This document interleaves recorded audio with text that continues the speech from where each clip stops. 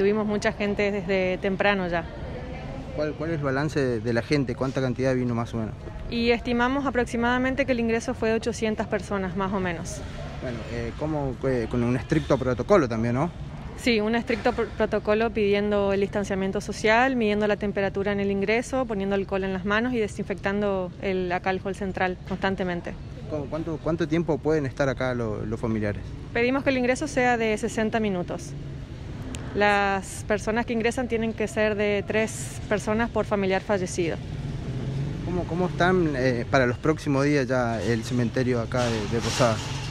Eh, estuvimos todas estas semanas trabajando con todo lo que sea el mantenimiento, así que eh, tratando de, de- de ver cómo seguimos en, en el orden y la limpieza. A que partir de, de mañana, ¿en qué, qué horario también se podrán a- venir a hacer las visitas? El horario va a ser de 9 a 16, de lunes a lunes.